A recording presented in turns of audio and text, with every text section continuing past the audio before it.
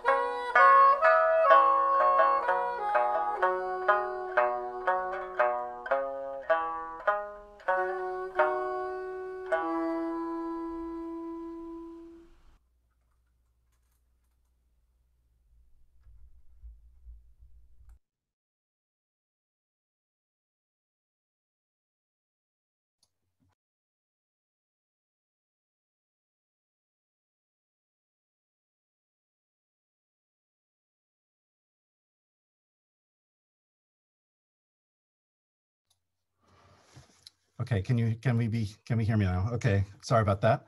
Uh, First, thank you very much to Wesley Ueunten, Francis Wong, and Scott Oshiro for the lovely opening music, Asadoya Yunta, which is a, a very famous song in Okinawa for those of you who are unfamiliar with it.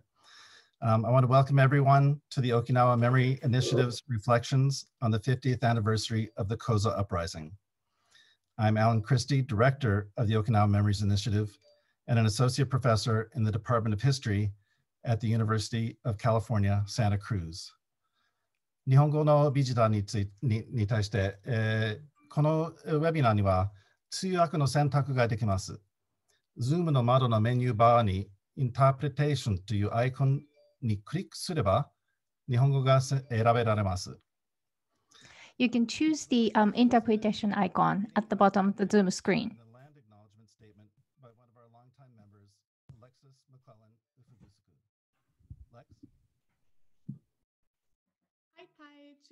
Navira, Kusuyo Achimari Nihe One Ne McClellan Ufugusku Lex Yaibin, One Oba mm, Wata Uyafa Fujiya Karacha Bitan, Yuta Sargutu Unige Sabira. Hi everyone, I'm Lex. I'm a third year in the PhD um, program in history here, and I study Okinawan Ryukyuan history. And I am super excited and honored to be allowed to read the land acknowledgement. The University of California, Santa Cruz is the unceded territory of the Awaswas speaking Uypi tribe. The Amah Mutsun tribal band, comprised of the descendants of indigenous people taken to missions Santa Cruz and San Juan Bautista during Spanish colonization of the Central Coast, is today working hard to restore traditional stewardship practices on these lands and to heal from historical trauma. Thank you very much. Thank you very much, Lex. Uh, our guests will be speaking in either English or Japanese. The program is available with simultaneous interpretation in either language. To choose your preferred language, locate the interpretation icon at the bottom of the Zoom window. Click on it and choose your language. When the speakers are speaking the language you have chosen, you will hear them directly. When they're speaking the language you, for which you need interpretation, you will hear just our interpreters. We're so happy to be able to provide our audience with a comfortable access to today's program. Events like this don't just fall into place. Instead, many people have done wonderful work to make this possible, and I'd like to begin with some thank yous. Thank you to the special events team at UC Santa Cruz uh, for all the technical and planning support they provided prior to and during this event. Thank you to the Humanities Institute at the University of California, Santa Cruz, where the Okinawa Memories Initiative has its home and administrative support. The Humanities Institute is a wonderful place to incubate new uh, ideas for new projects and events, and we have benefited from their strong support for many years.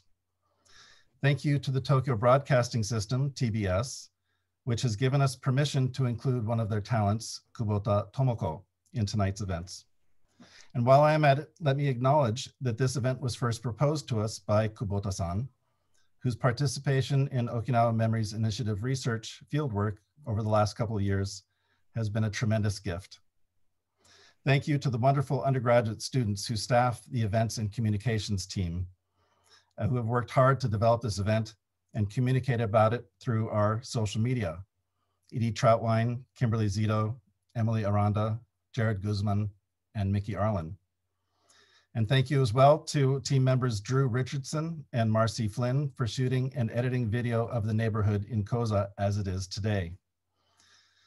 Thank you to our guests, Kuniyoshi Kazuo, Stan Rushworth, and Wesley Ueunten for giving us your time and insights. And thank you to Chiyomori and Miki Watanabe for their interpretation work today. Thanks as always to the people of Okinawa and the United States who have shared their time and their stories with us. We're honored to serve our communities. And finally, thank you to all of you who have joined us today, and especially those who have shared our announcements and have thereby helped us reach as wide an audience as possible. As director of this project, I am humbled by the support and so grateful to you all. One last thing before we get started. Our event is presented in the webinar format of Zoom. That means that you, our guests, will not be visible on our screens and the chat feature of Zoom is disabled. We welcome any questions you have for our question and answer period at the end of our presentations. To submit a question, either in English or in Japanese, please use the Q&A function visible at the bottom of the Zoom screen. We are recording this event and will make it available on our website at okinawamemories.org. So our program will feature three conversations between a member of the Okinawa Memories Initiative team and a special guest. We will begin with a conversation between Kubota Tomoko and Kuniyoshi Kazuo. Mr. Kuniyoshi worked for many years as a photographer for the Ryukyu Shinpo, one of the major newspapers in Okinawa. The night of the Koza uprising, he was called out by his editors to document what was going on. He will talk with us about conditions in Okinawa prior to the events of December 20th, 1970, to help us understand the sources of the anger that erupted that night, give us his eyewitness account, and talk about the legacies of the uprising in Okinawa. Our second conversation will be between Dr. Dustin Wright, Associate Director of the Okinawa Memories Initiative, and Assistant Professor in the School of World Languages and Cultures at California State University, Monterey Bay, and Stan Rushworth, an American Army veteran, memoirist, and writing teacher at Cabrillo College here in Santa Cruz County. Mr. Rushworth will talk about his, his experiences as a soldier stationed in Okinawa during the Vietnam War.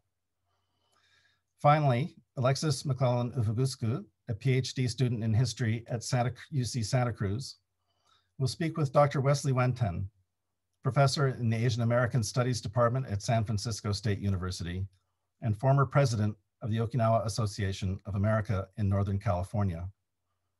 They will speak about the legacy and meanings of the Koza uprising for Okinawans in diaspora and offer commentary for thinking about the Koza uprising in the present context of race relations and protest in the United States. Following these presentations, we will have a Q&A period for the audience to ask our guests any questions you have. And with that, I'll set the stage with a brief account of the late night to early morning of December 20th, 1970 in Okinawa in the middle of the Vietnam-American War. 50 years ago today, the often rocky relationship between Okinawans and the US military took a major blow as an Okinawan protest turned violent for the first time in the 25 years of American control of the islands. The protest came to be known as the Koza Riot. We, however, will call it the Koza Uprising, following Okinawan scholars such as Anya Masaaki and our own guest, Wesley Ueunten. Calling it an uprising focuses our attention on the political conditions that drove the protesters to violence. The protest was sparked by an accident. An American driving drunk hit an Okinawan man who was walking across the street at about 1 a.m. in the city of Koza. Koza was a busy entertainment and shopping district that especially catered to servicemen and their families living on the bases surrounding the area. Since the accident took place just after Saturday, Saturday night turned into Sunday morning, the streets were still alive with people, even at that late hour. The pedestrian was hurt, although not severely, and a crowd quickly formed at the scene of the accident and grew increasingly agitated as police and then MPs arrived to investigate. Just one week earlier, another American who had killed an Okinawan woman in a drunk driving incident in the town of Itoman had been let off by a military court and removed from the island. With that fresh evidence of the unaccountability of the American military, the crowd in Koza was determined not to let this accident follow the same path.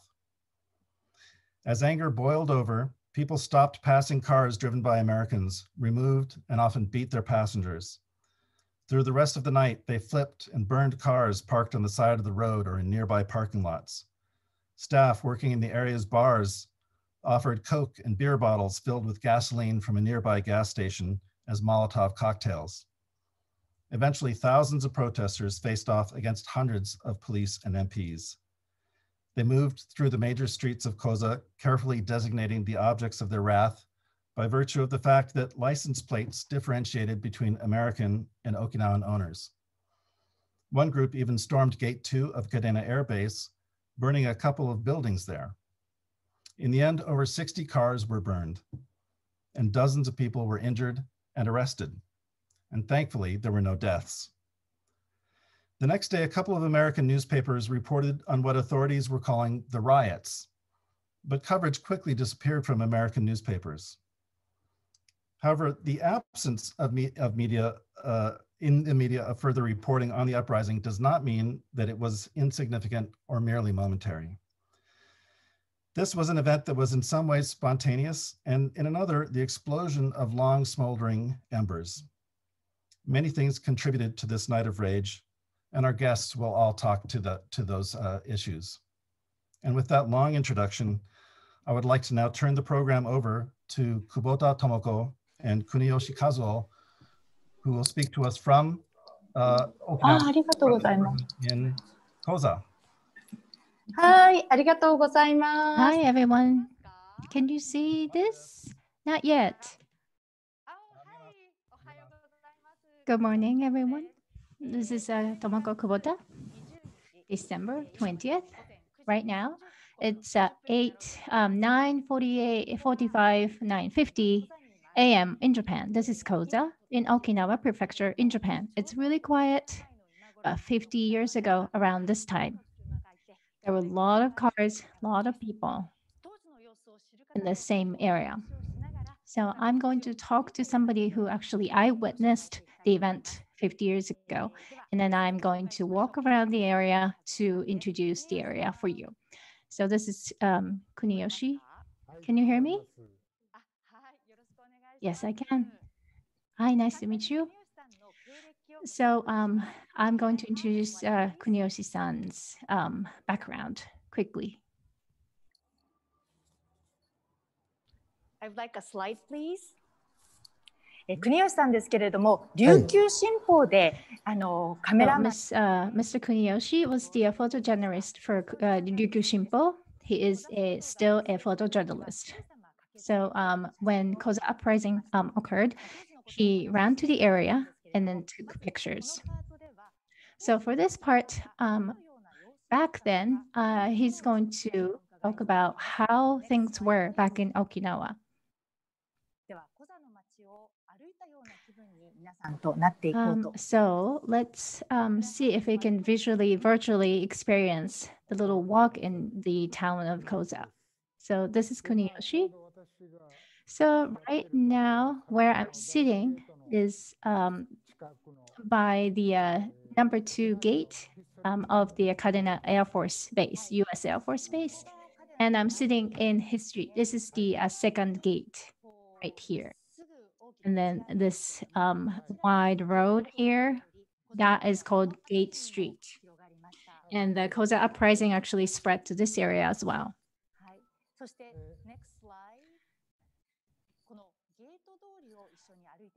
And then so I'm I'm hoping we can take a little stroll here on the gate street.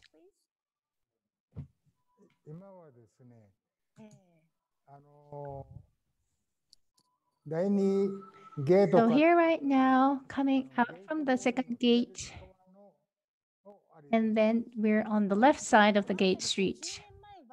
So here, 50 years ago, how was it around here? So the buildings are about the same. It looks the same, but there were a lot of um, signs in English back then.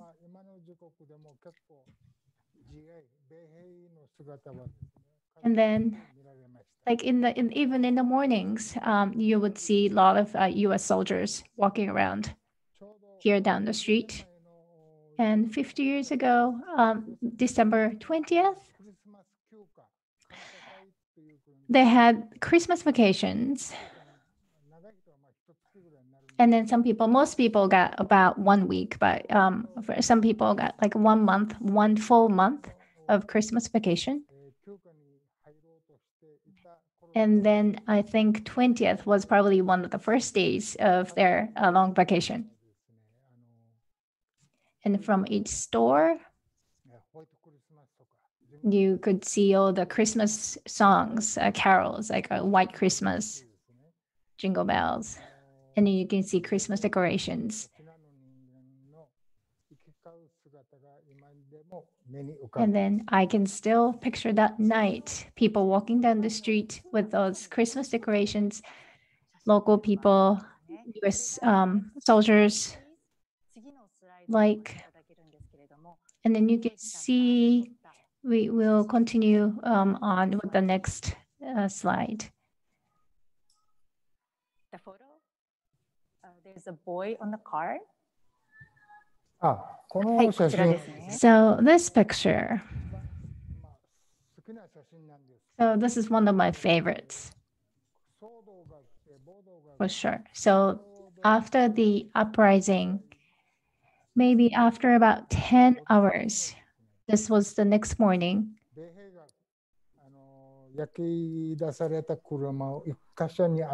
And then the um, US um, soldiers actually put all the burnt cars in one place. And then a lot of people actually came to see the situation. So back then, um, Koza City uh, Okinawa City, but uh, back then called the city. Became really famous uh, over this uh, news. And that boy you saw, he just kind of hopped on the hood of the car.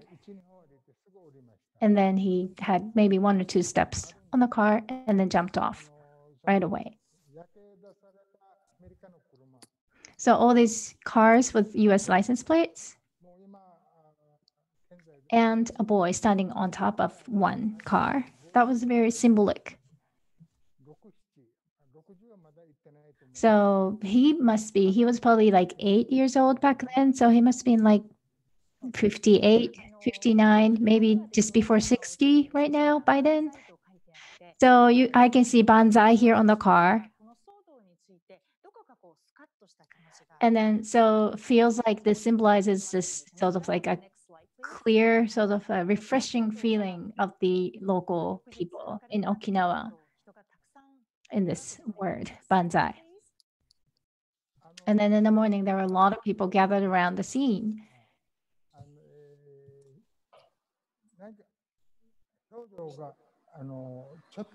So this uprising So in Okinawan language, it was a well done, good job. There was a word for it to describe this event.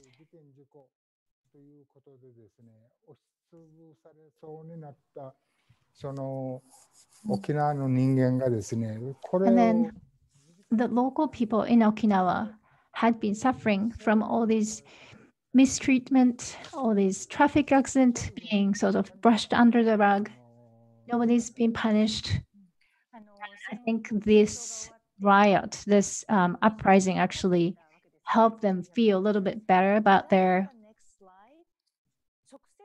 identity, their local ideas.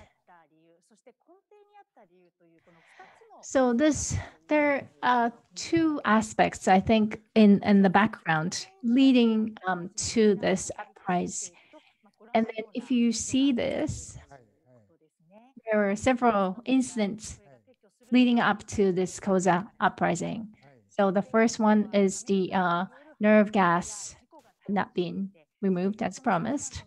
And this gas was um, prepared and stored in Okinawa for Vietnam and also um, military crimes uh, by the uh, U.S. Um, Army soldiers, uh, U.S. Um, Air Force um, soldiers. They were they would cause some uh, troubles or um, commit crimes, but they weren't punished for what they did. So the Kagoshima Prefecture Satsuma um, came to Okinawa and then um, keep it um, under control before the World War II. And then in 1945, in April, U.S. military landed Okinawa. And then that included Iwo Jima as well. And then that was the land fight. And then Okinawa is the only place where uh, citizens civilians were involved in the war. So with the US military invasion into Okinawa, they kept Okinawa, entire Okinawa area under control, military control.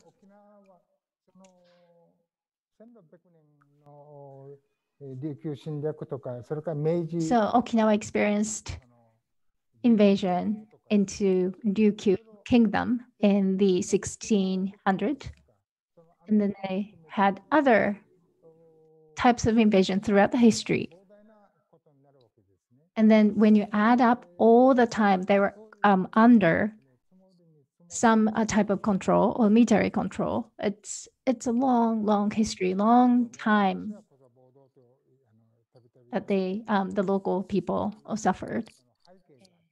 So I think all these history or historical background actually led to the Koza uprising. So here there's the uh, delegate from Japan and US, and then also a representative of the Okinawa uh, government or Ryukyu government back then. And so you can see these three men here with different aims, different missions, but uh, Kunio-san repeatedly actually says that there was this serious issue of uh, human rights violation in this area. Yes, um, you can see uh, Mr. Sakase here. And to the left, Mr. Uh, Yara Chobyo, he was the um, the Ryukyu, the representative there. the Ryukyu. And the, the man in the middle is uh, James Lampert uh, from the States. And to the right is the um, delegate, a Japanese delegate, Mr. Takase. So then three men are looking at different, you know, different way, different directions completely. And then they have different missions, different agenda. They're not on the same page and then people in Okinawa, in this area, protested that US military is um, storing poison gas or nerve gas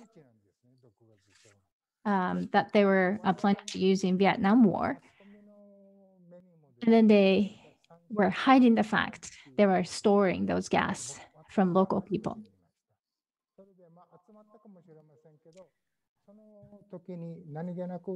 And then I took some pictures. Um, uh, this picture uh, without thinking much, but then this was the first day actually um, in 1971 that they were actually transporting the uh, poison uh, gas, nerve gas. And then they he uh, Lampert, Mr. Lampert actually said it described Okinawa as a jungle, and then they have to follow a jungle rule.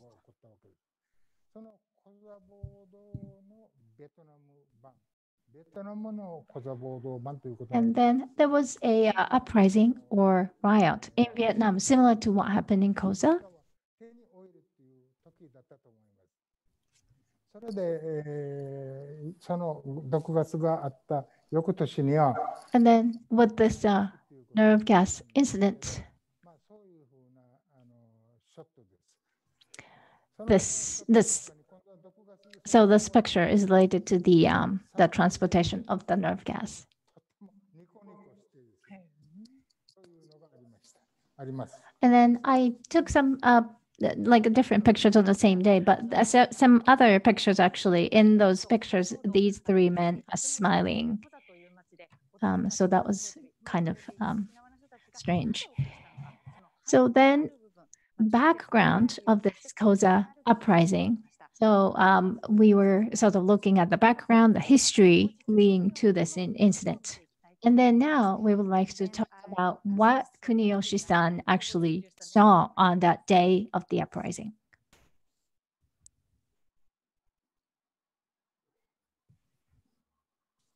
脱線そう久保田さん、今ちょっと聞こえなくなってます。 So sorry, uh, Kubota-san, I can't hear it right now. 聞こえますか Can you hear me?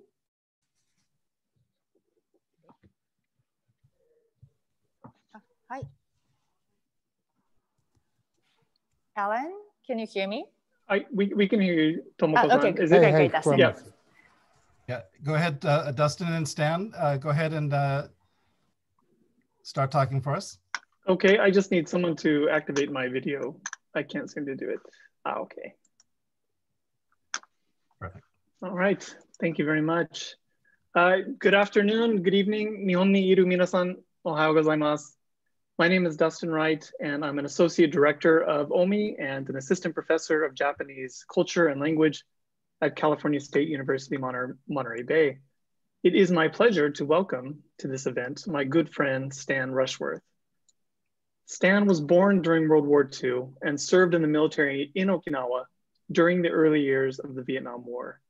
He has lived and worked in Highland, Guatemala, Hawaii, and has been teaching English in Northern California for the last 30 years with a focus on Indigenous issues.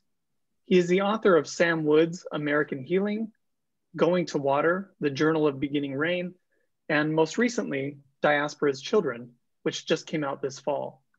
He is a citizen of the Chiricahua Apache Nation, is married, and is a grandfather. So Stan, welcome and thank you for joining us today. Thank you. It's an honor to be here. Thank you very much. It's great to see you.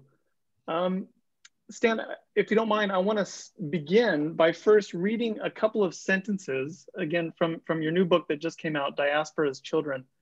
Um, just a couple of sentences in your acknowledgements. So Stan writes, I also owe much gratitude to the people of Okinawa who took me in during a very hard time for all. They taught me about compassion, strength, resilience, and the deeper nature of shelter within Indigenous thought. Stan, I, just as a way to begin to talk about your experience, I wanted to ask why it was important for you to include that in your acknowledgements. the book deals uh, a great deal with my time on Okinawa. And I was brought up in early childhood in my grandfather's indigenous household, and then was influenced uh, as far away from that as the American educational institutions could bring me, uh, because indigenous thought here was quite frowned upon, uh, to say the least. Uh, my grandfather's people were a colonized people. And so his way of life, our way of life, was not given the respect that uh, it gave itself. So that all culminated for me when I arrived in Okinawa as a teenager in the military in August of 1963.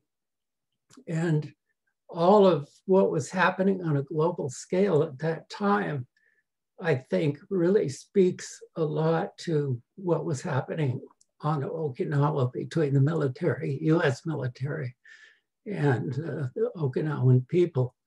So I think it's, a, you know, in thinking about this event, you know, what I ran into when I got to Okinawa was an incredible amount of fear.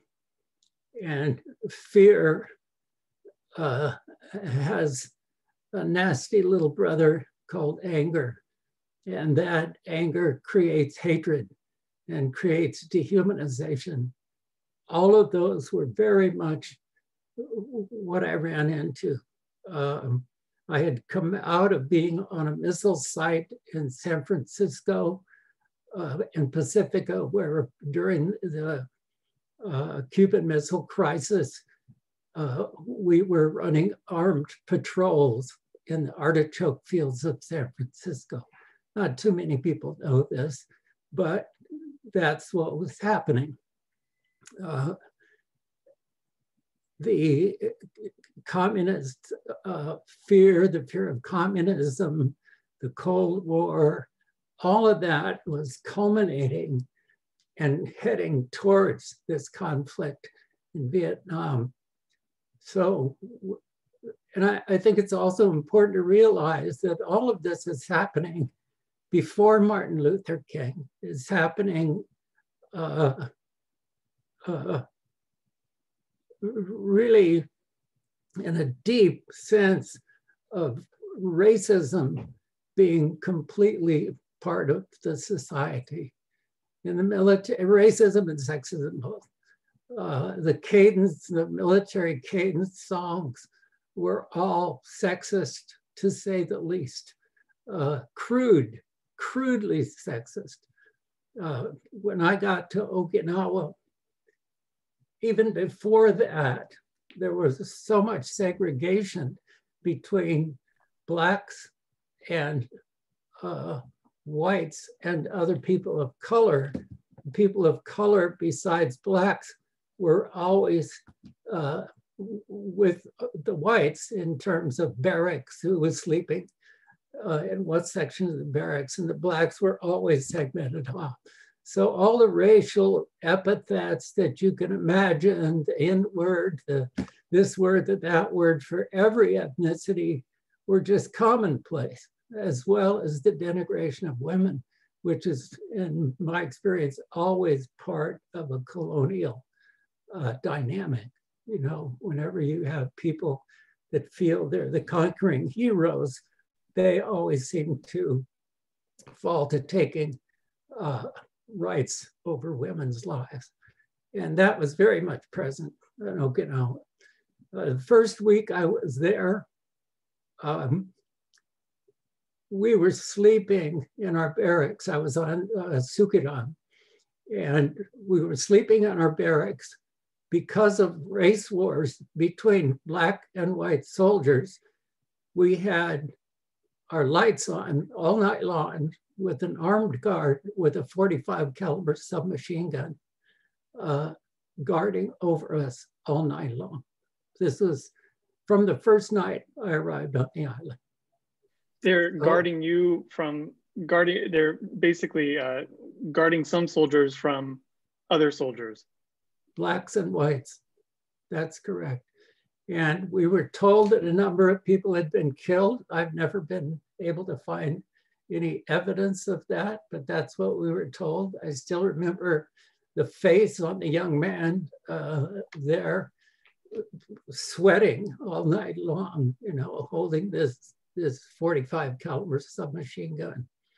So this kind of terror really was part and parcel of everything that was going on. The um, uh, the impunity that was happening that was uh, that Tomoko mentioned uh, and uh, Mr. Kuniyoshi mentioned, the violence against uh, Okinawan women particularly uh, that was gone, that went without any kind of punishment, uh, very often without any kind of notice whatsoever. And I think a lot of women uh, were hurt who never even stepped forward because they didn't feel that it would go anywhere, you know, and that it would cause a lot of problems in their life.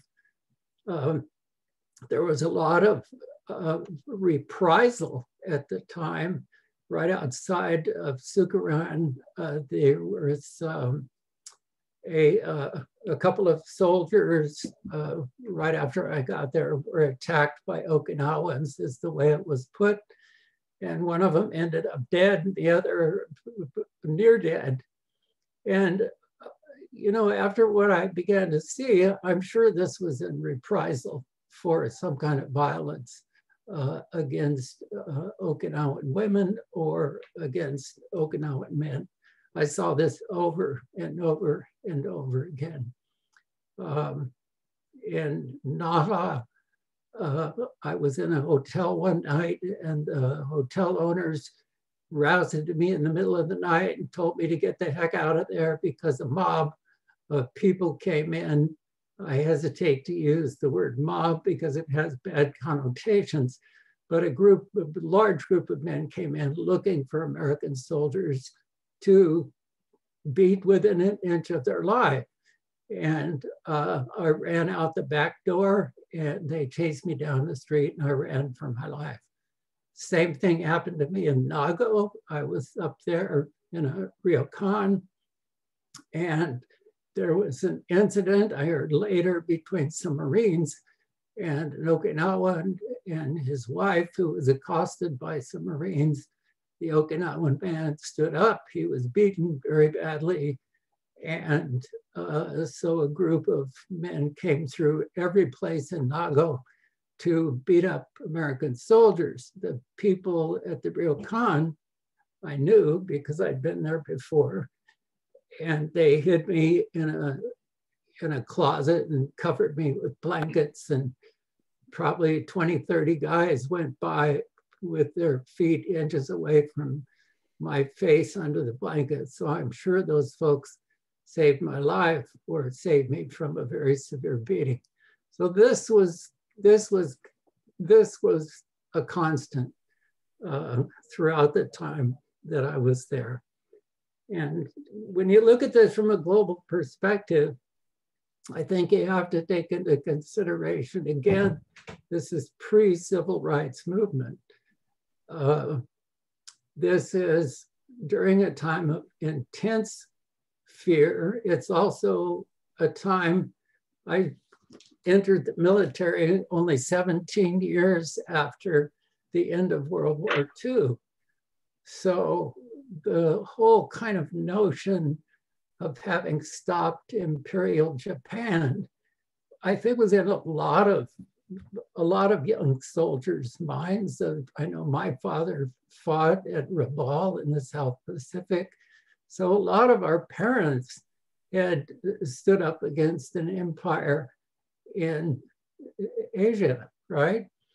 And for a lot of native soldiers, uh, indigenous soldiers, we were struggling with the fact that the empire at home was still stifling and oppressing our communities. So this is a really, really difficult thing. So I thank the Okinawan people for uh, reminding me of the shelter in, in, in indigenous thought, indigenous perspectives, because that's what they did. I was there from uh, August of 63 until April of 65 in uh, most of that, and then on a special forces staging out area in the north, uh, right so, on the other side of the island from Nago.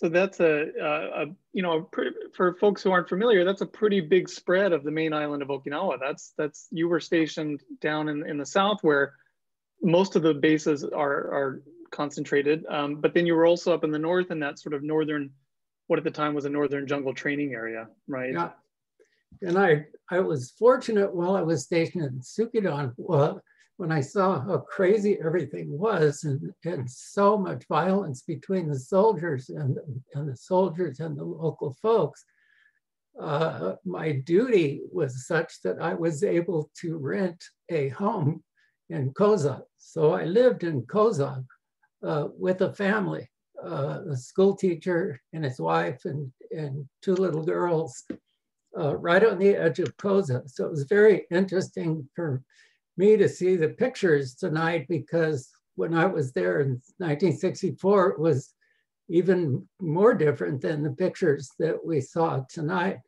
It was uh, far less clubs and that kind of thing. It was much more of a uh, of a town, I'd say.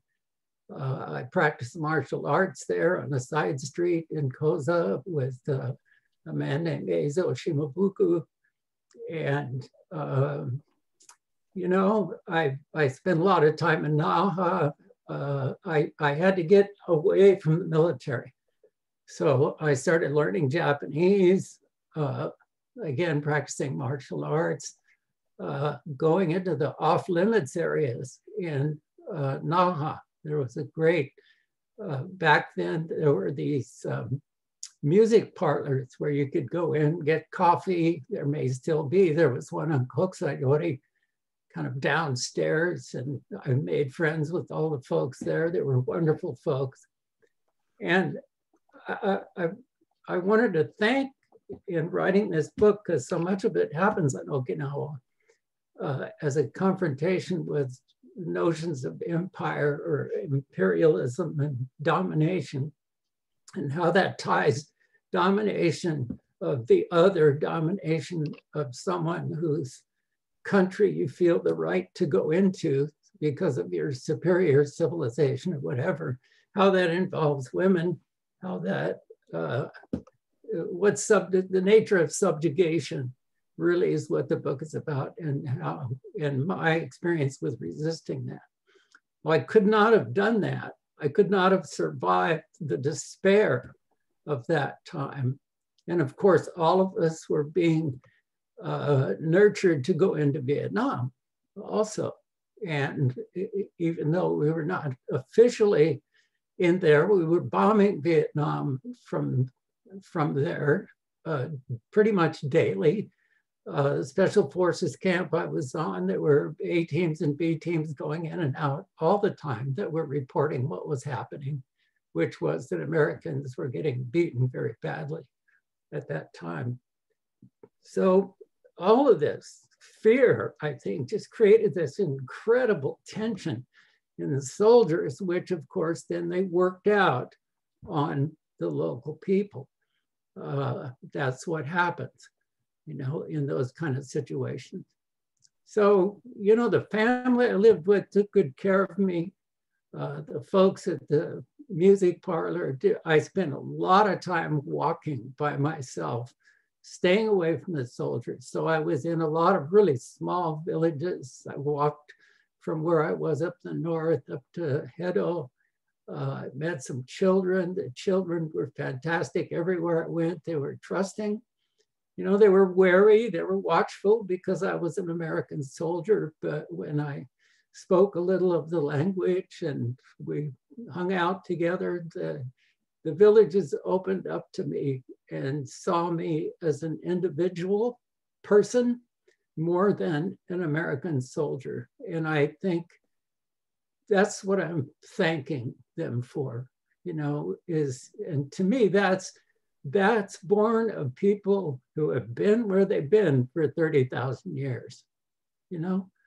So there's a certain security they feel in the land, which makes the violations of the land all that much more poignant. Uh, so well, that's a um, um, uh, I, uh, well, wonderful sort of uh, way to kind of circle back to that original question, Stan. Thank you so much for um, sharing this with us and, and uh, helping us um, think through some of the your perspective there and, and uh, offering a little bit about what it was like to be on the base, um, what it was it was like to be um, uh, to be one of the Americans serving there in Okinawa during that time. I think you know one of the things that I, I really love about your book that you have talked about tonight is this uh, you know things can be a lot better. It sounds so corny, but just recognizing humanity, right, in in in, in the people around you is such a I think a really central part of, of what I what I took away from your book. So I really encourage people to uh, to read this book. It, it as Stan said, um, uh, Okinawa is is uh, is threaded throughout much of uh, much of the the book, and it's a it's a wonderful read. It's beautifully written. Thank you very much, Stan, for for sharing your time with us. I hope you'll stick around for the Q and A. Oh, absolutely. Thank you very much. Thank, Thank you. you all for doing this. It's very moving to see. Thank you, Stan. Um, all right. Um, now, how about some music? So today, Koza uh, remains a major music town. Um, it's got a, a nice, uh, rich history uh, with music that predates, you know, that goes way back decades before, um, uh, before the uprising. Uh, so let's hear a song entitled Chijuya, and it's by uh, Wesley Ueunten, whom we'll learn more from later uh, along with Francis Wong and Scott Oshiro. Um, and they're playing a, you know, a, a bevy of instruments, um, a hybrid of instruments, uh, sanshin, sax, some other things. So it really kind of reflects possibly the hybridity of Koza itself. So um, if you need to get a tea or something, let's take about five minutes, turn up your speakers, let's listen to some music.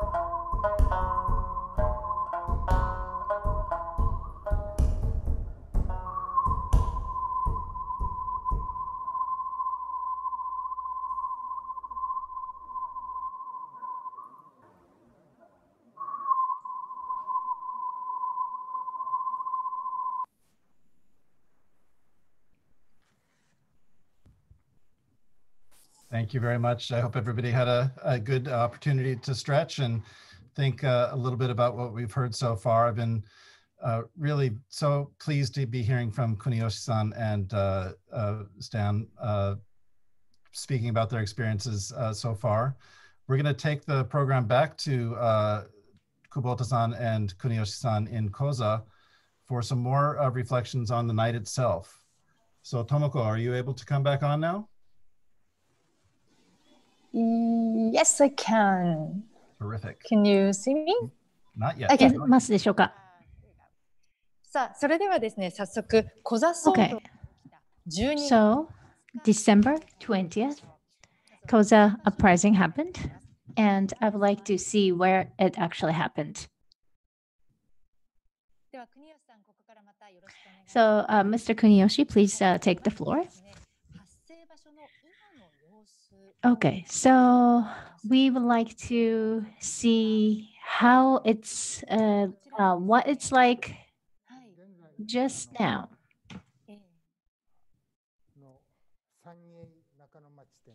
So here, Sakai Nakanomachi, here you can see. So there's like a grocery store there.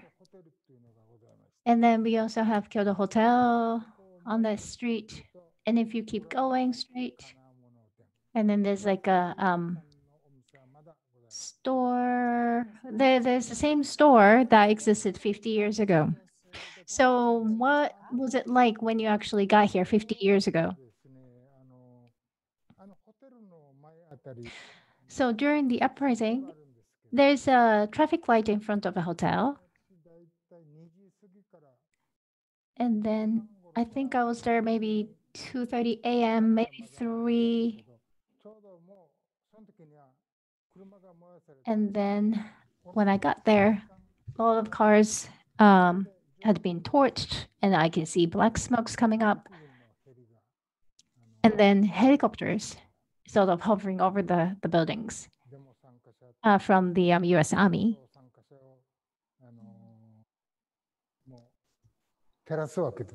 And then there were sort of um, um lit up the whole area with the uh, the lights, the headlights from the helicopters to see how many people were there.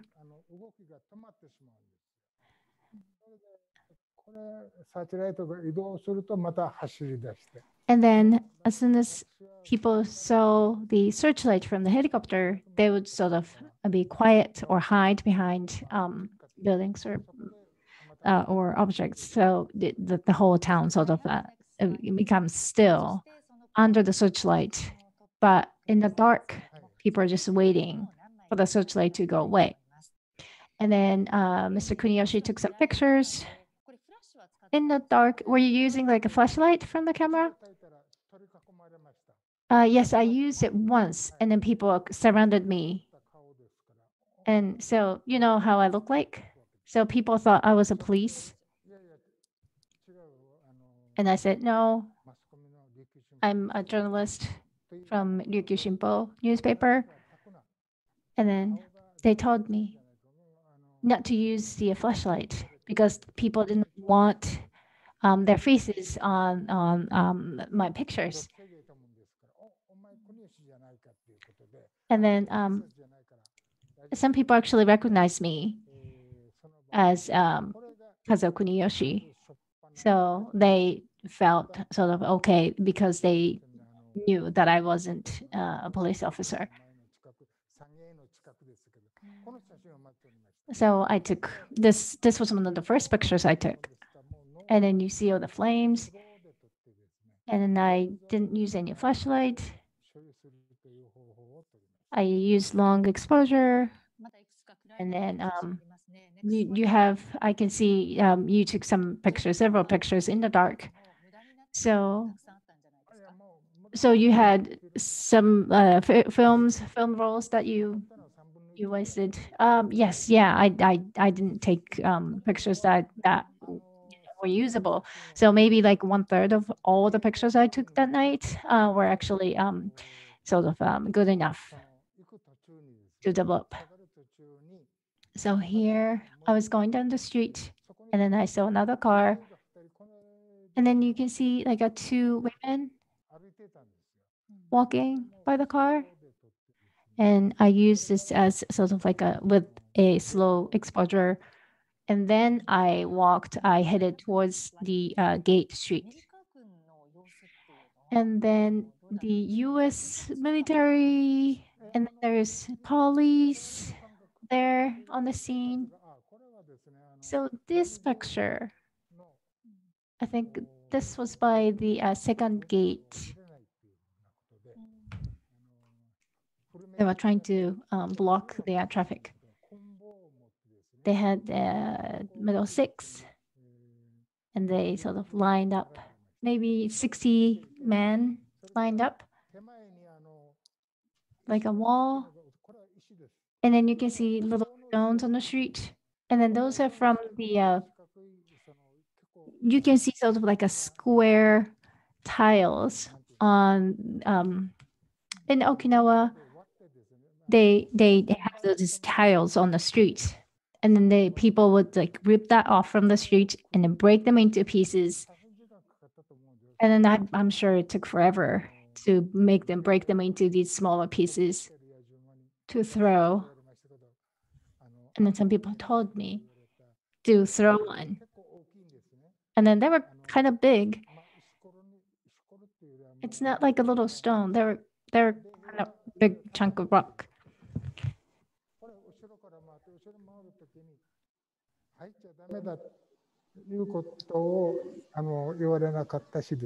So when I went behind them, I was a little scared and worried that they might actually um, arrest me for going behind the wall, behind them, human wall, but they didn't really care about me going behind them and take pictures. So the the Koza uprising I think the uh, the situation was getting worse in Vietnam. And then so um, though the soldiers actually came back from Vietnam or on the way to Vietnam, they stay in Okinawa and they they have money. They they just get wasted. They get drunk. And then you know when these soldiers go into different bars and restaurants, local people who serve these soldiers don't really have positive experience with the soldiers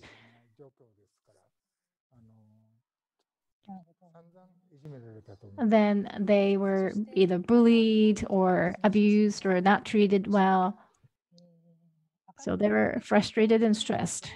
And then, um, then the daylight comes in. This is early morning, and then all these cars with yellow license plates.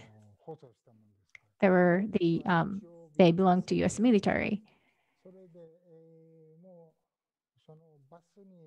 ったりとか、マイカー、あの頃マイカーはまだまだですけど、 And then uh, back then, not many local people actually owned cars, but people took buses.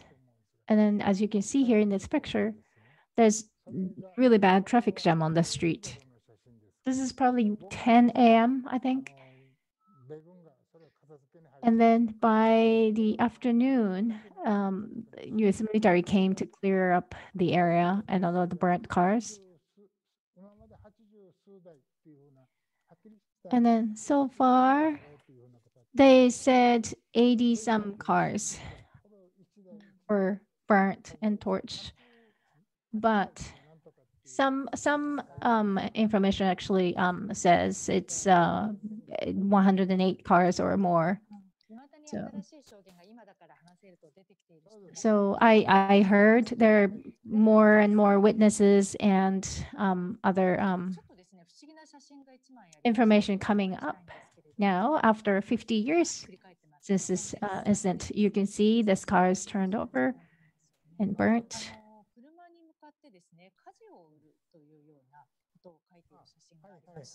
So there's um picture next one. I think it's the next one. This is the local people, right? You can see a lot of kids, small children, young children. This was probably around noon. And then you can see the, the barricades here with the wires. And then some people actually smile at the camera. Yes, they're they're smiley. Yes.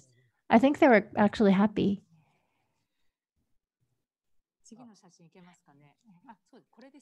Here, this one, this this was the one I was talking about. This says fire on sale. And then the people are actually smiling here. What does this mean, this picture? So yes, you can see a known Japanese person. So you can see how they dress and the hair hairstyle. You can see these are not um, um, military people or soldiers. That's obvious. The police came they're probably like tailors maybe from India or some other countries. They they came to Okinawa to make their uh, make uh, clothes. And I think he he's holding a sign um, written by possibly his Japanese wife. So a lot of um, um, non-Japanese people actually married. Um, so they're teasing this whole situation. Um, yes, yes, you can see the the the um, the young boy to the left. He's smiling too. So people from India, they had this um, feeling that they were discriminated against. yes, I think so lot of them actually married to a local lady, local uh, women. Next slide, please. And next one. This one, they look pretty tired.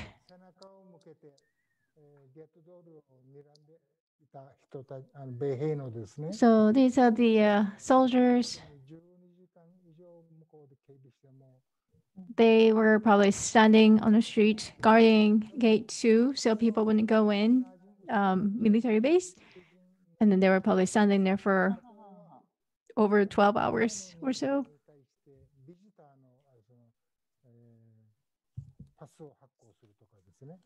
Then they these people have to issue visitor passes for local people local okinawan people when they try to go um, in to the base, Kadena Air Force Base. So local people with ID card, um, I, everything was burnt uh, during this uh, uprising, but I think they had to reissue their um, passes to go on the U.S. base after the uh, uprising. So this picture 働いてる方 he she probably works on the base at Kadena, を全く知らずに、 and まあ she had no clue that this happened last night, the night before. 今みたいに And then she got there in the morning, and then she couldn't go in. They she weren't allowed to go in, ですねどうしようかっていうふうなことで、 and she didn't know what to do. And she I, I remember she was kind of trying to figure out how to how to get to work, what to do. And then this one, uh, this is a boy walking on a car. And then I can kind of uh, picture the scene surrounding this car and the boy. So this feels like just yesterday, but it's already been 50 years since this day. And I'm so worried that I have to tell the story as long as I can so the story doesn't fade away. Our memories don't fade away. And then it's been 50 years since then. And then there was a student from Ryukyu University who's writing about Koza uprising. And then this boy witnessed everything and then stepped on this car. And I don't think he would forget this day, this moment.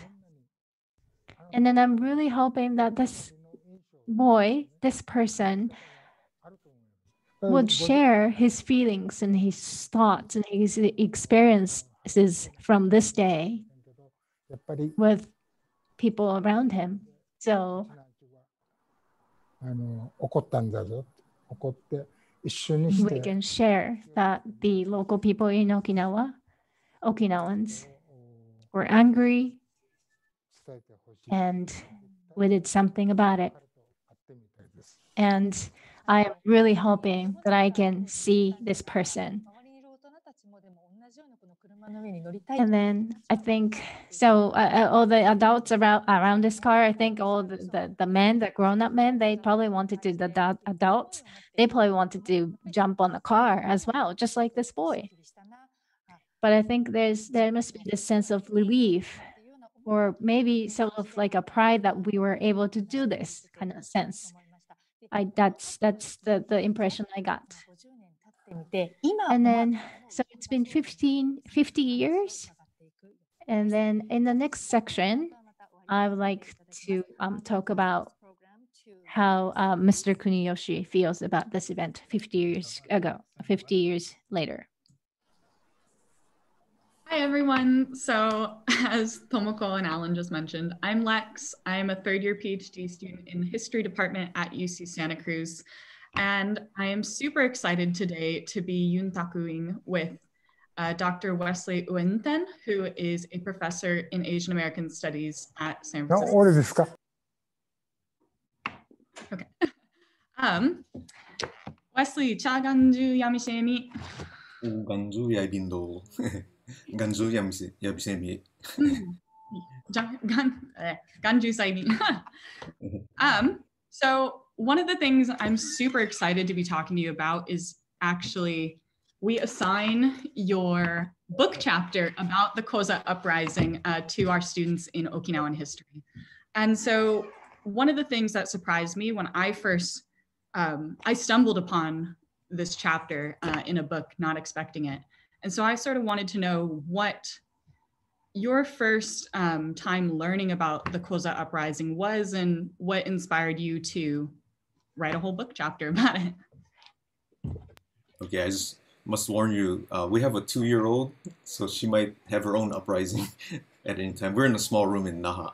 Uh, so um, anyway, going back to that article, um, and thanks for asking that question. It's an honor to be here with everyone.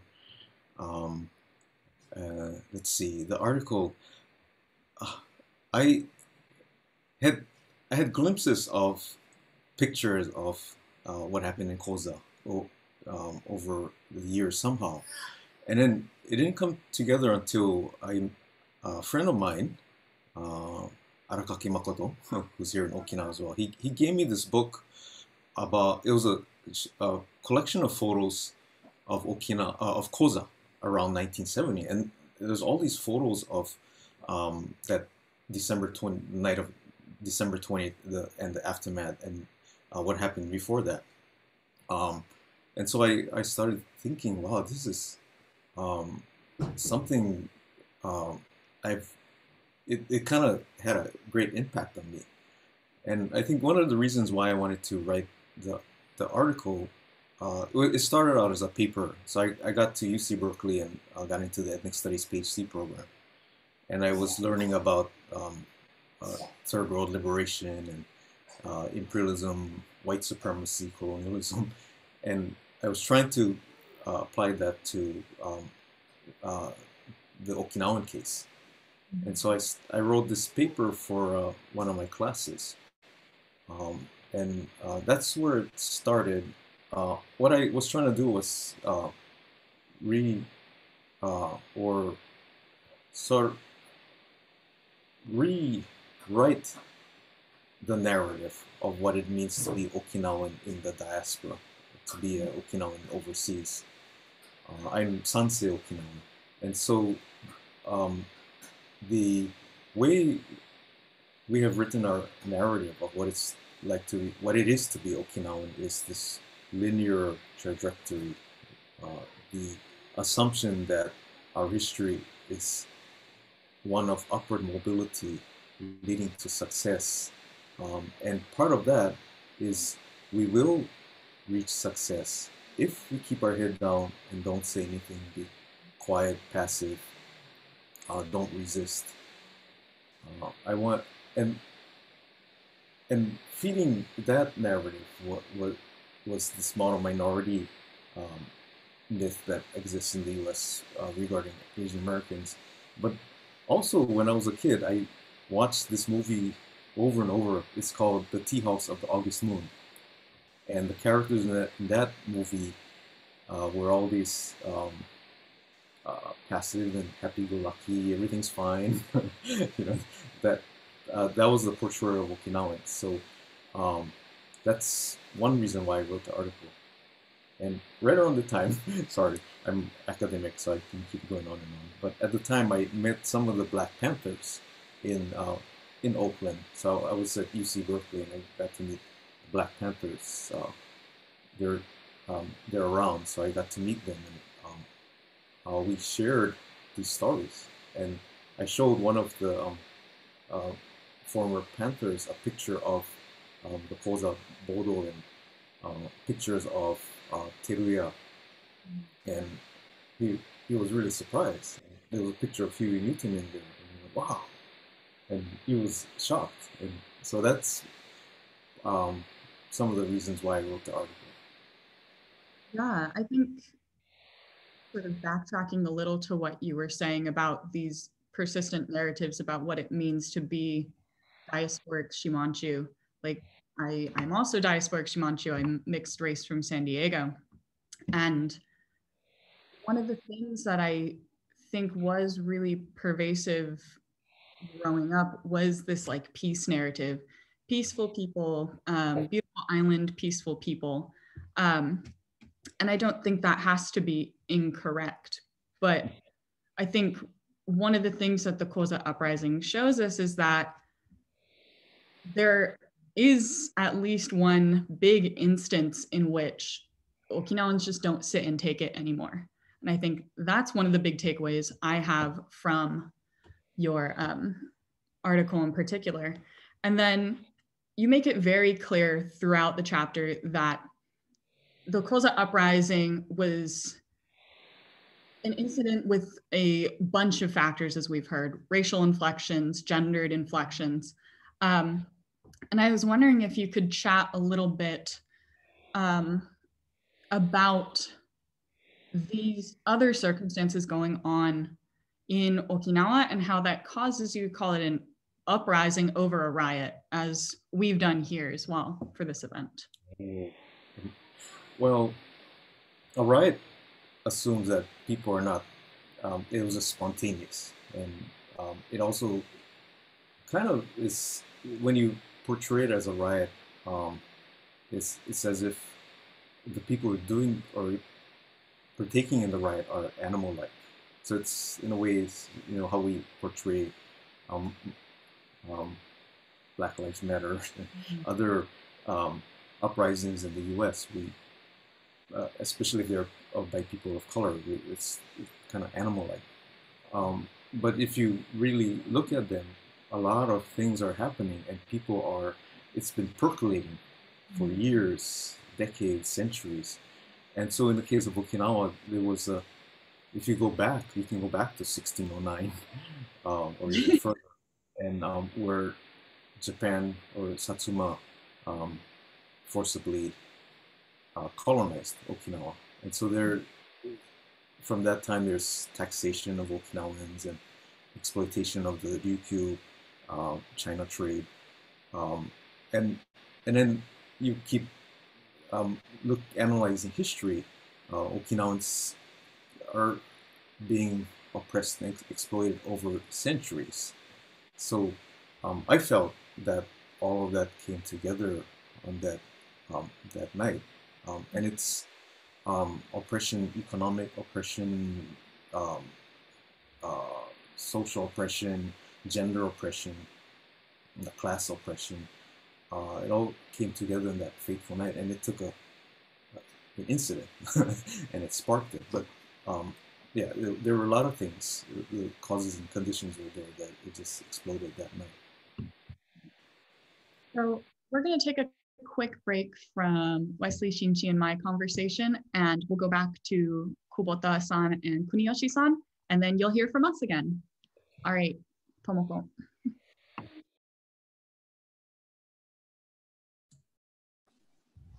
Is it my turn? Yes? Yes, it is, Tomoko. Okay. The, can you see me? Okay. Okay, so now um, Kunio-san and I will talk about how we should think about this Koza uprising after 50 years. So I'm going to show you where I am. Eh, 一応バーチャルツアーということでですね。So I'm going to call it a virtual tour. And I hope you can you can sort of sense you can feel that you're walking through the town of Koza. Eh, 現在私たちはコザにある戦後文化。So right now, I'm at the uh, his street. It's the um the pro uh pro uh post-war cultural memorial museum in Koza. And here this um they have um exhibit all the um cultural materials, pictures. You can see all the pictures here and then tools, devices. And then on the second floor, this is the um the special exhibition here. And then they have a um Koza uprising and the 50 years of history. And you can see the uh, big map of all the incidents where they happened and accompanying pictures. And then I am in that building. So uh,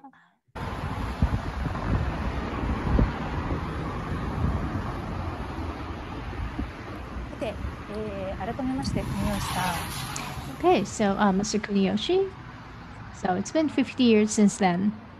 And then looking back, what kind of impact does this incident um, bring um, to the local people of Koza or people in Okinawa? I, it's, it's difficult to describe. But so we have Japan, this is US, all these big, larger entities and organizations sort of uh, put force and sort of weight on um, the shoulders of Okinawans. And then, so uh, before there was a direct dialogue and um, conversation between Okinawa and U.S. government or U.S. military. So this was more like a direct interaction or negotiation. But now we have Japanese government in between. And then I sometimes wonder uh, myself if our voice is actually being delivered honestly and directly to the U.S. side through the Japanese government.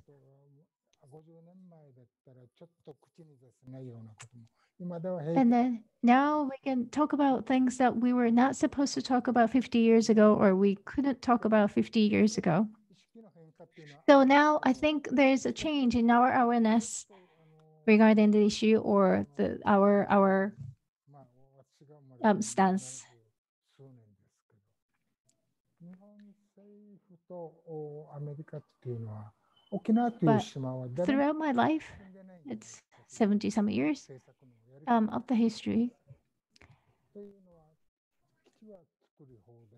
I think there's so many bases, and the US military can actually open up new bases whenever, wherever they want in Okinawa. And then I want everyone to remember that Okinawa is not just a place for US bases or other um, of purposes, but we have we live here. We're human beings living on this island in Okinawa. And then all these voices have been ignored and not taken up, not valued. And what I can do is take pictures. And then through my um, photographs, I can deliver my message, hopefully, and then get my message across through my uh, photographs. And then I want to participate in different events. And I want to have my own voice to speak up. I want to communicate. Um, of course, I used to work for a newspaper company.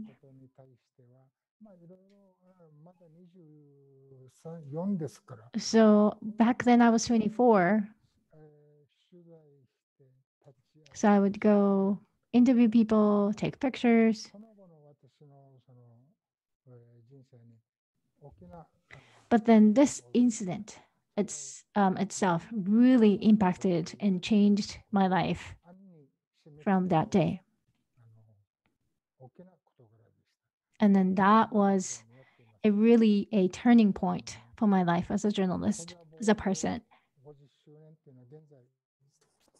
ミュージックタウンで今日までやっていま And すけど then ね。 here, uh, there's an event for this uh, 50 year anniversary since the uprising at the uh, Music Town. I think today is the last day of the event, but you can participate if you're interested in.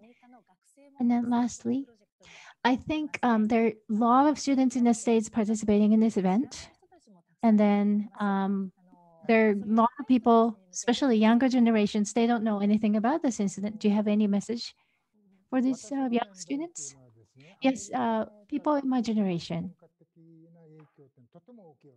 um, had a lot of sort of significant impact or influence from um, cultures um, in the States, from the States, music, movies, and they affected me in my life. And then like I don't have any sort of allergic reactions or sort of a feeling of rejection for anyone from the States. I want to get to know them. I want to talk to them more. And I want them experience this little island.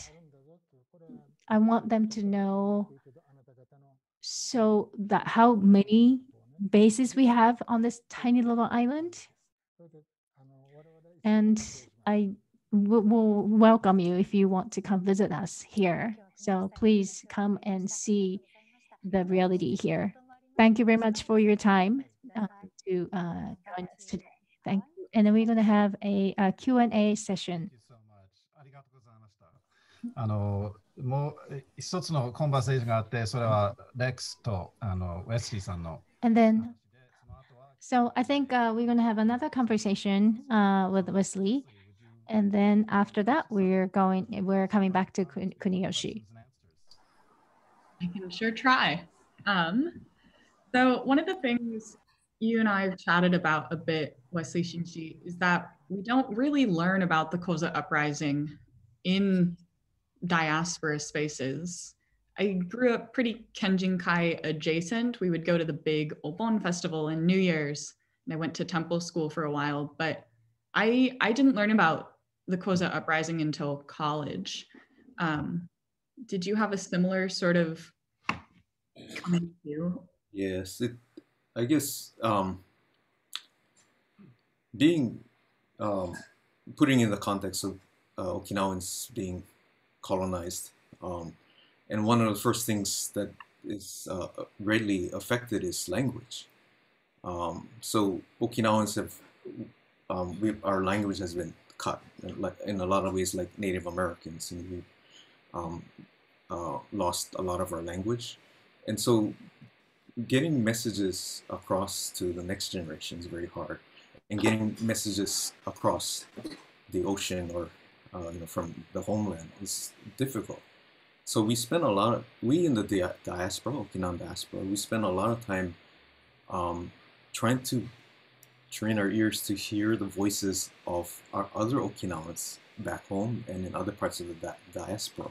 So it's a lot about voice. It's the voice of Okinawans. And the way I see the um, Koza uprising, um, I, I don't mean to romanticize it too much, but uh, it, it was um, a voice of love, uh, love for yourself.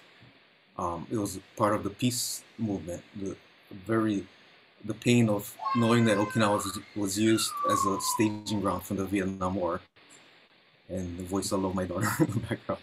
But it was a voice of love, in, and um, we we in the diaspora are searching or trying to amplify our voices. A lot of times we're not heard. Um, so um, uh, it is about this voice. And uh, I just want to mention we have a group called the Global Uchinanchu Alliance. so if you go on uh, Facebook or look us up, the Uchinanchu Alliance, and see the voices of uh, some of in the uh, uh, Okinawan diaspora. I have a friend named Pete Doctor who just wrote about the Koza uprising. You can look up for him. And there's also Eriko Ikehara here in Okinawa. So if you look up Koza Mixtopia, she has an event uh, on the Koza uprising. So it's today. anyway, right. so plugs. Yeah, and they're both really inspirational to me as well, and citing them in my master's paper last year. Both of them ended up in there. um, I think on my end, now having been able to design a class about Okinawan history with Alan, Malaya, and Drew, one of the really important parts to get in there for the modern Okinawa section was about the Koza uprising. And like you were saying, it it provides a, a voice that I at least was not aware of when I was growing up. And I think the people who talk about the Koza uprising in very real terms uh, about what it actually was, which is like a decolonial movement and the result of so many forces of colonialism for so long, are people like you and Kuniyoshi-san who are also Shimanchu. And I think that's, it feels like I wouldn't be doing my sukubun to not include these voices and this event like in teaching our students. Uh, and so I wanted to thank you for that. Um, did you have any final sort of or I could go on forever with a yuntaku, but um, no, maybe just the, the song that Francis Wong and Scott Oshiro and I did called Chijuya. And so the meaning of that song is um, the diasporation, the diasporization of Okinawans made Okinawans leave Okinawa. And one of the only things that we can look, we can, being so far away from home, knowing we can't really go back to where we came from. We can look at the moon in the sky, and there's only one moon, and we're wondering if the other people are looking at the same moon. so that was the meaning behind that song. Um, and with that, I think we will throw it back to Alan. Thank you, Wesley Shinji. Thank you, everybody, all the panelists for a fascinating discussion. We've had some great commentary in the Q&A section. People uh, are really quite moved by a lot of what has been said here. Um, and uh, a number of people have asked about uh, some of the, the uh, materials we've talked about, for example, the essay by uh, Dr. Ueunten, um, uh, which is in a book called Militarized Currents Toward a Future, decolon toward a uh, future decolonization of Asia and the Pacific. And his essay is called Rising Up from a Sea of Discontent, the 1970 Koza Uprising in US occupied Okinawa. So that book was published in 2010. A lot of people asked about that one.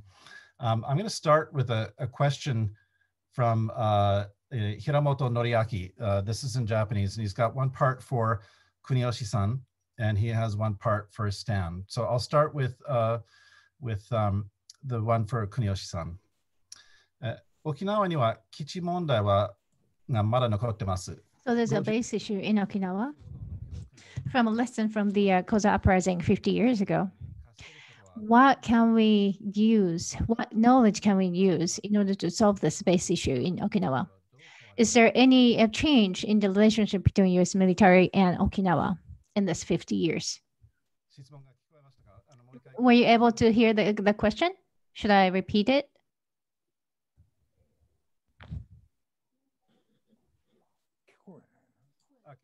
Okay. Okay. Yeah, uh, I can't hear you. Okay, now I can hear you. Okay, shall I read the question? Okay, I'm going to read the question again. So in Okinawa, there is a, um, a uh, base issue and based on the uh, lessons learned from uh, 50 years ago, Koza uprising, I think the the sound volume is really low. I can't really. この質問が聞こえますか Were you able to hear my question, Kuboda-san? 今基地問題が残っていますけれども、えまだ基地まだ基地問題が残基地。基地も基地問題は残っていますが、はい。 So we still have the issue um, of U.S. base in Okinawa, but did we? Is there any um, lesson that we learned from 50 years ago from Koza uprising that we can use in order to solve the issue?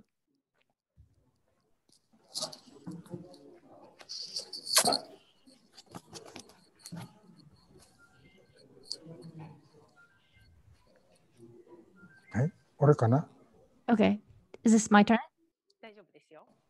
Yes, go ahead. あれ聞こえますか文吉さん次、次ですね。え今です Okay, か I'll wait. Should I wait? Okay, now, okay. So the base issue. があります。 So there are so many views and viewpoints アメリカ for the past 70 years.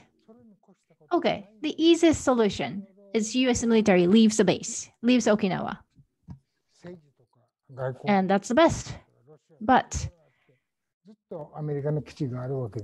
because of the uh, diplomatic issue with China, Korea, South Korea, North Korea, US military decides to stay in Japan.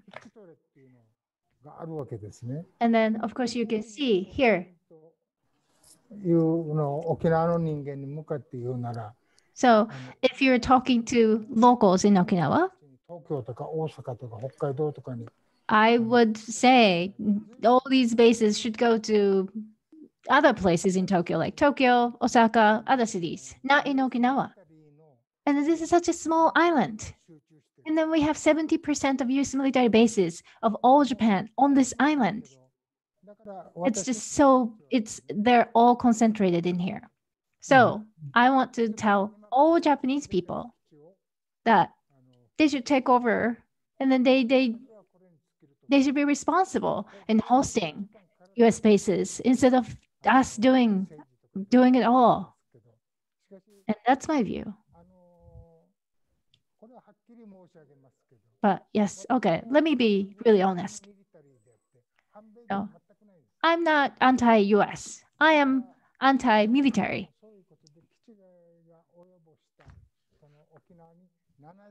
So that the 70 years, close to 80 years of impact the US military bases um, gave to the local people of Okinawa and Okinawa, the land of Okinawa, we can't, it's unimaginable, unbelievable. So now I see how Japanese governments work, how US governments work. And then and then the diplomatic issues. You can you can see how how they work with, with each other. There are so many things i want to talk about. But here in this book called stand this is how I feel. This repre- represents my thoughts. Th- There's another question from Hiromoto-san, this time for Stan, and uh, it's in Japanese, but Stan, I'm going to translate it uh, on the fly for you, okay? Thank you. So Hiromoto-san says, uh, not many Japanese have learned about the pain of the American soldiers uh, from that time. And so uh, Hiromoto-san believes this is a very valuable testimony that you've given today. And uh, he would like to know that um, there's a term bundan, which means, you know, the separation of, of Okinawa and America in terms of the, the rule by America. So wondering, um, what do you think has changed in the 50 years since the end of American rule in uh, Okinawa? Do you have any sense of that? You mean on Okinawa itself? Either in Okinawa or uh, even for yourself, if you reflect on the end of American rule, uh, short, you know, in, in the early 1970s, what do you think might uh, be the, um, the the effect in in Okinawa? Hey, hey. It's hard. It's hard for me to say uh, what that effect is on Okinawa because I have not been back. I worked with Okinawan people in Hawaii when I was uh, working and living there, so I have some pictures of it uh, specific to Okinawa. But in the in the 60 years since I've been there, I think we have a much uh, greater, deeper, broader opportunity to see the effects of colonialism, of US colonialism worldwide, and where this is affecting uh, the entire planet uh, right now is really important. I think Okinawa represents for me a kind of a macro, a microcosm of where militarism uh, does damage to everything, to uh, to people's spirits, to the land itself, to where people's spirits are completely interconnected with the land itself. Um, so I, I see huge changes in the last uh, 60 years. I also see at the same time a stasis, a uh, a way in which people are refusing to see the obligations of being a human being. And I, you know, as I was listening to everything here, I completely celebrate the Koza uprising. I think it was as the uh, indigenous people of Chiapas said, basta, which is enough. Okay. So I see that as that, as, as a very strong resistance that I think should be studied. People should see this. At the same time, for me, as a native person, as an indigenous man, everything I experienced from the Okinawans when I was there, 63 to 65, were very defiant acts of resistance. I don't see the resistance of Okinawans from my experience as solely being confined to that event. I think that's a beautiful symbol of it. But when I was chased out of that hotel because I was an American, that's an act of resistance. I did nothing personally to deserve that, but I was part of a body of people who were occupying that land. I was, I knew nothing of it. I was 19 years old. I was just beginning to wake up to all this stuff. Uh, when the people in Nago hit me, what the Okinawan men coming in searching to beat up Americans was doing was an act of resistance. And the insistence upon maintaining the vision of life and community, the sense of community was so powerful where I lived on Okinawa and with the people that I met and the openness. Uh, to me, that's an act of resistance because colonial powers want to stifle your relationship to life. They want to make you believe that life is a certain thing. And that certain thing usually involves violence and despair and fatalism. And to me, the act of resistance that I got from the people of Okinawa, which is why I thank them today, was to not bow down to that fatalism, but to keep believing in life as they had seen it for thousands of years. Thank you, Stan. That's also partly a, an answer to a question from Takashi Mizuno about uh, whether you viewed Okinawans as indigenous people when you lived there in the 1960s. I did not. I viewed them as Asian people. Uh, but like I say, I, I barely got out of high school. So, and then I was in the military. So I had no real education on these issues. What I did know, as soon as I started moving into the community, there was one old man in particular who took me under his wing, and he was exactly like my grandfather. Hmm. So I couldn't give the words to it, but I knew that he was family.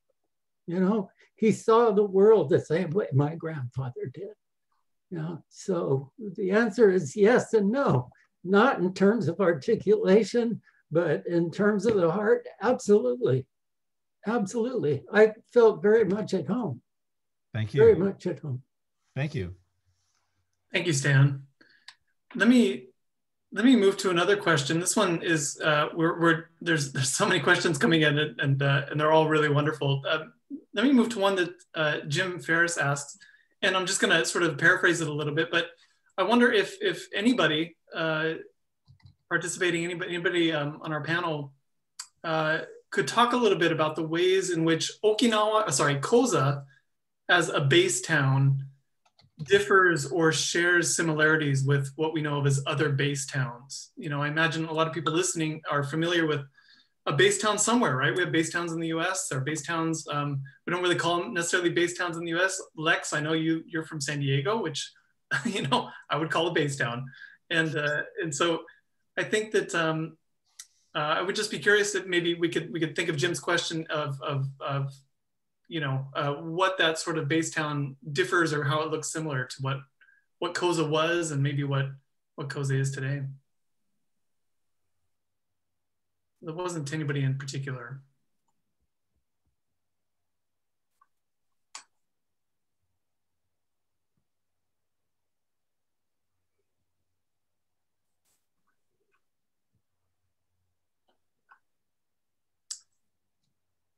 If we have nothing for that, we, we could uh, move on and maybe come back to that a little bit later.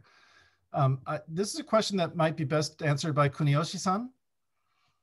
Uh, and uh, this is in English, so I'll, I'll- ask that it be translated.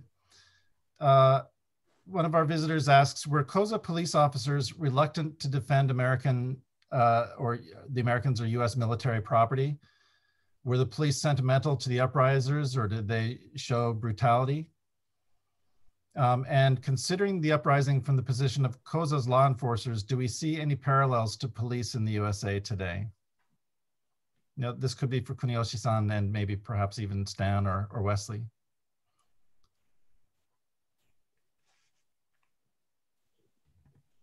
Uh,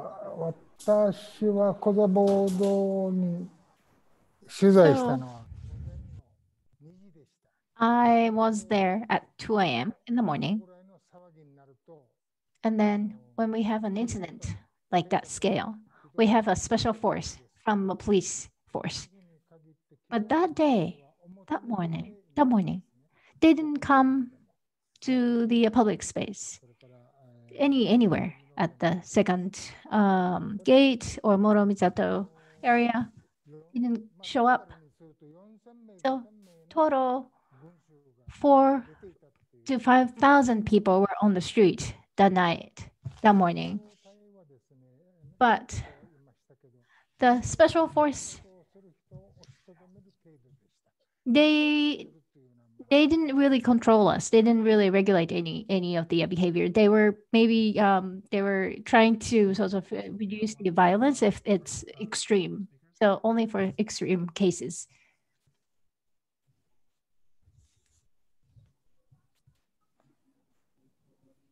Well, so I'll, I'll ask another one. This comes from Jane Lin, and this may be Kuniyoshi-san again. Is there is there a possibility that another uprising of this magnitude could take place in Okinawa today? What would be the mitigating factors uh, if it if it did, such as continued military presence or mistreatment of the locals? Or if not, what would the current deterrence be to prevent this kind of uprising from happening again? まあ個人的なことを言えばですね、今、 So this is my personal opinion. but in uh, Hampshire, uh, in Nago City, they use a landfill to use a really beautiful, pristine beach for Marines. And then Japanese government supports this. And then Okinawa people actually went against this, didn't like this idea at all, even before this project started. And then 1964, US military, US government actually wanted to push forward, but now Japanese government wants to see it through. So the, the amount of money that they're going to use to destroy this beautiful beach, coral reef, Why is it necessary for them to do this?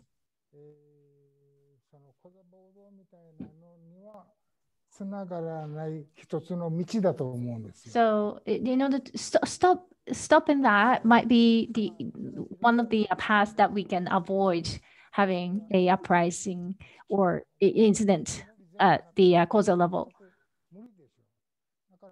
It's probably impossible to to to solve these issues without actually asking U.S. military to to move away, retreat from Okinawa Island. So in Okinawa, if we have any issues, there's always something base related, fences for US military. And then all these projects that kill our marine environment. I think if we can stop this, I think the situation on this island will change dramatically. We have another person uh, born in, uh, raised in Koza, who uh, would really like us to return to a conversation about the conditions of these uh, of bases in other places than Okinawa, so far as we know.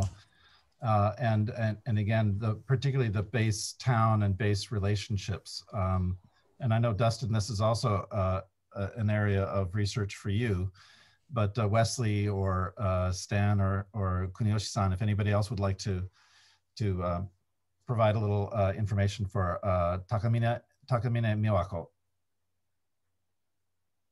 Oh. Takamine? Takamine. I, yeah. I could just, you know, just thinking about this question of, of base towns, you know, and knowing what we know about Koza then and knowing what we know about Koza now, you know, I think that it, there, those sorts of conditions were not necessarily unique to Koza, you know, and, and this reminds me of another question that came up about, um, you know, looking at the, the, the racial dynamic of the riot, of the uprising, uh, itself in that you know in particular it was uh, white servicemen who were targeted or whose cars were targeted and black servicemen were um, not targeted in that in that same way. And that was a recognition that you know a town like koza um, as an american based town right it's an okinawan community but it was outside of an american base uh, that you know along with american exports of, of commodities and, and music cultures and things like that, you also exported American style racism. And so within Koza itself, the, the, the town was segregated um, so that you had right um, establishments, bars and eateries and, and in, in neighborhoods that were segregated um, and patrolled by MPs to keep that segregation in place for black soldiers in one area and, and white soldiers in another area. And that's something that you see in, in other parts of, of Japan, at least, and other places you think of, uh, you know, if you go into Western Tokyo, for example, Western Tokyo um, is a place that historically had a, a, huge amount of military bases, right? Today there's still Kadena, uh, sorry, um, Yokota Air Force Base is in Western Tokyo. Uh, Tachikawa Air Force Base used to be another major installation there, um, but there are a, a, lot of military bases in that in that area, and a lot of those air, those towns and those those base towns that grew up around those bases um, or those sort of uh, um, entertainment districts uh, had a similar kind of racial dynamic um, that you saw in in Koza. So you know, Koza in some ways was was not um, unique in, in, in perhaps in, in some parts of, in some ways of thinking about what its base town element was like. But of course, you know, as, as Stan has been talking about and, and other folks have been talking about, you put into that mix Okinawa's separation and distinction from mainland Japan and the, the history of Okinawans being, um, uh, you know, uh, set aside from, from uh, mainland policies, uh, uh, mainland sort of uh, rights and, and legal rights, um, then you get a, a sort of a, a, different dynamic. So that Okinawans bear the brunt of, of occupation and base towns look but other people can um, can as well these other you know other base towns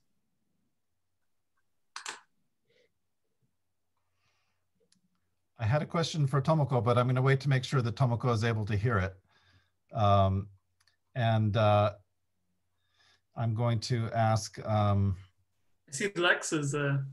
Oh, Lex, go ahead. Say, uh, why don't you add something, please? Yeah, I just had a little something to add on to what Dustin was saying about base towns. And it wasn't until I moved to Santa Cruz that I realized how heavily militarized San Diego is. And it's a very like it was normal growing up to not question why we have Camp Pendleton and Miramar and 32nd Street all in one place. And we are like a US city, so it makes more sense. But the reason I grew up in San Diego is not just like this random thing. My grandpa was um, the last base he was stationed at was Camp Pendleton. And so I grew up next to Camp Pendleton until I was seven and then we moved uh, to South Bay. And like, I grew up with base access my whole life and didn't think twice about it. It wasn't until I started thinking more deeply about militarism not being this normal thing. And especially when I took Dustin's Okinawan history class in college, realizing that for a lot of diasporic Shimanchus like myself, like I, I exist because of the military bases. And so it is this really weird cognitive dissonance that goes on. But because of that, there's a reason I also grew up with a lot of mixed race Okinawan people in my high school and uh, in my temple school. And I think that element of base townness is seen really, really, really in particular when you talk about uh, comparing places in the US with places like Koza. Thank in you. This, in this conversation, I'm thinking of the campus that Dustin teaches on. Uh, CSU Monterey Bay is where I went through basic training in 1962. And Seaside was a complete base town at the time very much divided between blacks and whites. Now, I want to point out that too on Okinawa, at least in my barracks, when you say blacks and whites, you have a whole lot of Latino and Asian and Native folks in there too. And they were all part of the white contingent. So the blacks were completely separated off. Uh, and everybody else, including folks from Hawaii that I served with, all referred to, or not all, not all. I don't want to over categorize here by any extent of the imagination, but to say that the black areas were called the bush or the jungle. And so you get that whole uh, a kind of connotation that Dustin's talking about being reinforced by the MPs. You know, it wasn't that much different right down the road from us here uh, in a certain sense. Of course, it's very different because it's colonized. It's, it's right after World War II. You've got a whole nother dynamic. But what what this brought up for me when Kuniyoshi-san said, uh, let's move these bases to outside of Tokyo. Let's uh, spread the spread the uh, military out. Why is it focused all on one island? And for me, as an indigenous person, this may this raises the question of, of possible racism within Japan towards indigenous people on Okinawa and how that then feeds into keeping uh, Okinawa not only an American colony, but a Japanese colony as well. So I think these are important questions to ask. You know, we see them here.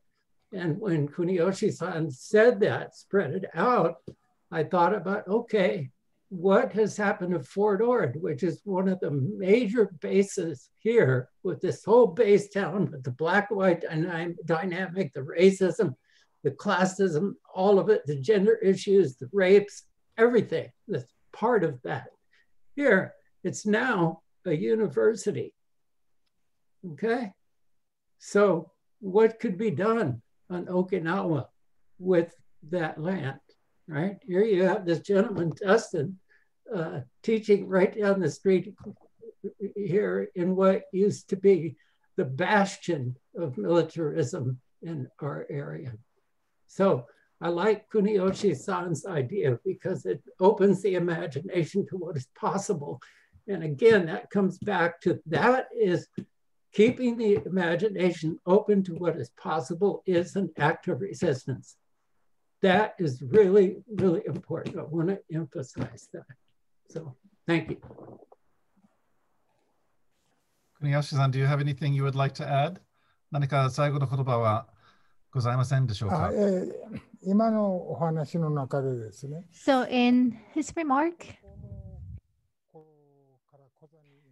since I, I've been here in Koza since high school, and then there was a sort of a, I, I was walking through this area called uh, Black um, area, Black Street, and when I was a little kid, there was a, a team only with African American soldiers, and the commander was uh, Caucasian American.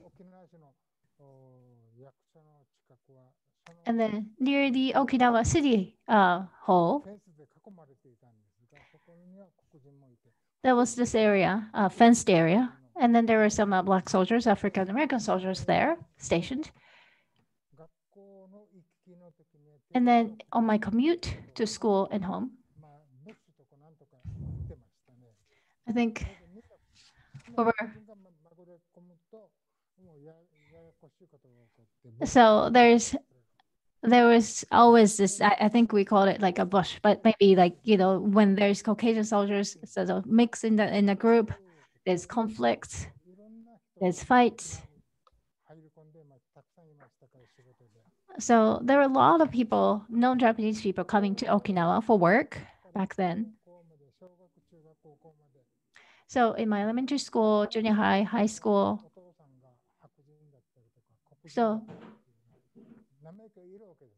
so there's always a classmate uh, African American dad or Caucasian American dad in my class.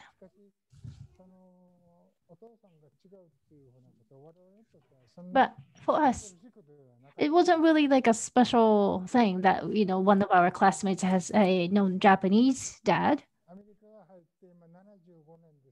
And then it's been 75 years since uh, U.S. military control in Okinawa. But uh, if there's a child, you know, who is born, then you know uh, we call them like a mixed baby. But uh, we we have you know those baby is now 75 years old, and the next generation is out my generation. So if it's it's just countless cases of these uh, mixed race uh, children grow grew up in Okinawa.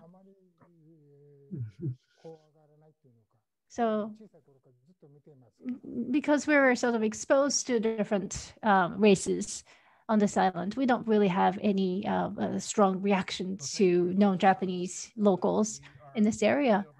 People have been patient to be with us for, for two hours of a, what has been for me an eye-opening conversation, and particularly uh, the the perspectives that we've been able to hear from tonight are ones that we don't often get to hear from at the same time. Uh, and so for me, the sense of dialogue between everybody here has been very powerful. And I'm very grateful to all of our, our speakers today, both our special guests and to our, our uh, Okinawa Memories Initiative team members. Um, it's been fantastic.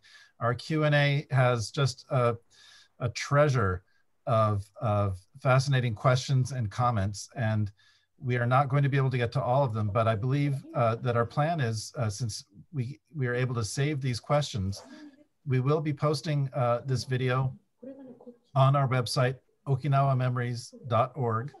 Uh, and uh, we will include in that posting uh, both uh, the pictures that Kuniyoshi-san uh, took that he has given us permission to show everybody.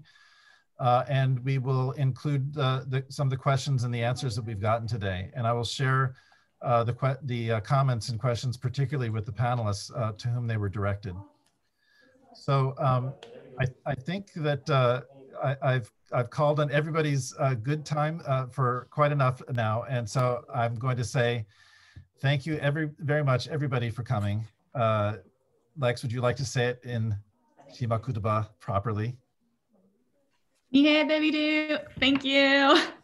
thank you very much, and uh, Kubota-san, thank you as well. Uh, we're gonna we're gonna uh, end the program uh, you know, with uh, with one more tune by uh, Wesley Ueunten and and his friends Francis Wong and Scott Oshiro. So uh, if you'd like to have a listen to a song called Toshindoi uh, as as we fade out, thank you. Very much.